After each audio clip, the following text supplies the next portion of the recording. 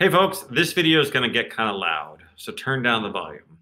Welcome to day eight of my holiday vocal advent calendar, and today we're working on calling, how to access a louder singing or speaking voice by using a very particular head position.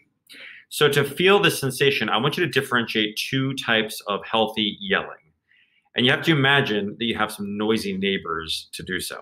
So I want you to differentiate what it feels like to yell to your next door neighbor versus yelling to your upstairs neighbor. So you have to imagine like they're playing their holiday music way too loud. And you're going to shake your finger at the wall and say, Stop that! Notice how that feels. So try that. Mute me, shake that finger, and yell, Stop that. Excellent. That's one sensation.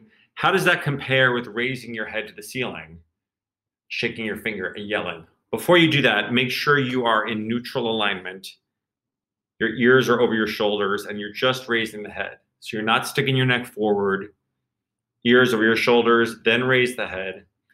Shake the finger, yell on the count of three. You're going to yell, stop that.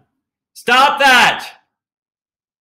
How does yelling up differ than yelling forward? Try that a couple times and see if you can compare what yelling forward versus yelling up feels like.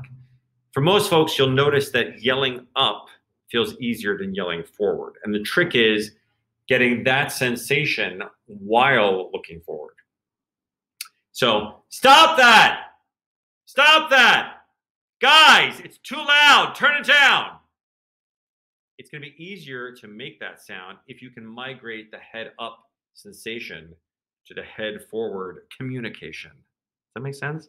This one takes a while to play around with, but see if you can feel the ease of that healthy yell, which is different than trying to drive your speaking voice up high. That's not what we want to go for. I hope you enjoyed this video. Look forward to seeing you tomorrow for day nine.